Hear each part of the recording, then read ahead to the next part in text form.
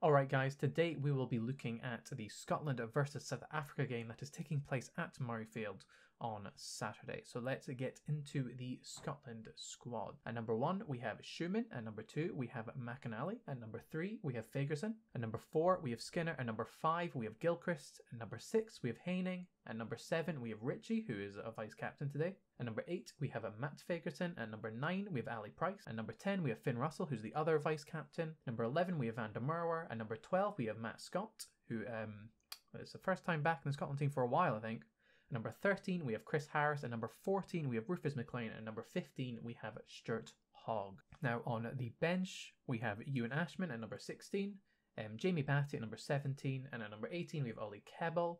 At number 19, we have Jamie Hodgson. At number 20, we have Hamish Watson. At number 21, we have George Horne. At number 22, we have Hastings. And at number 23, we have Blair Kinghorn. So this is an interesting squad. Hamish Watson is on the bench um, being replaced by I guess Nick Haining and Jamie Ritchie being moved out to that seven spot.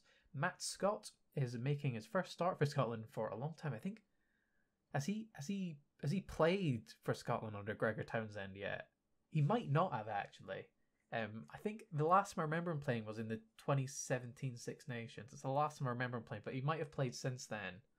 Um, so that's very nice to see Matt Scott back in the team and Rufus McLean um, back the starting lineup after not even being in the squad last week. Uh, he got two tries against Tonga the week before, uh, so it's a very interesting Scotland team, uh, and I can't wait to see what happens. Okay, so let's move on to the South Africa squad. Now, at number one, we have Nche. At number two, we have Mbonambi. At number three, we have Nyakane. At number four, we have Etzebeth. At number five, we have Mostert. At number six, we have Siya Kolisi, the captain. At number seven, we have Smith, uh, Kwagga At number eight, we have Vermeulen. At number nine, we have Jantjies. At number 10, we have Jantjies. At number 11, we have Mapimpi. At number 12, we have de Allende.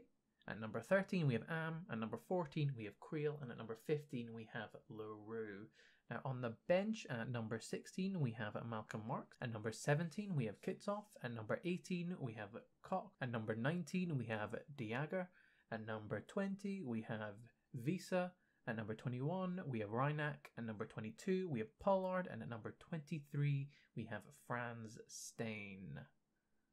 So that is the South Africa team. It is a very, very, it's a very good team, and it's making me quite nervous from a Scottish perspective. Um, so yeah, let's move on to the players to watch from each team. So for South Africa here, my player to watch is Mapimpi. He ran a really nice line um, to score his try that was eventually disallowed um, for players being offside, I believe it was.